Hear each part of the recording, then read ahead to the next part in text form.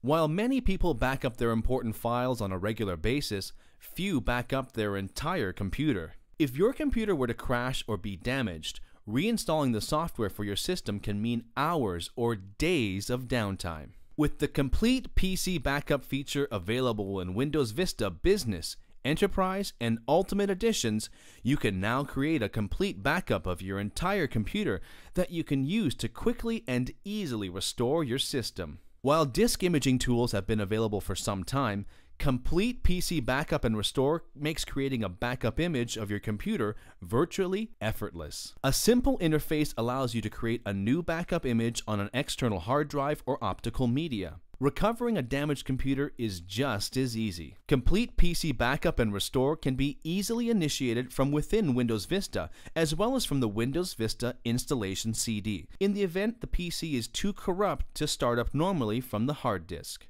Complete PC Backup and Restore as part of Windows Vista now makes PC Backup simple.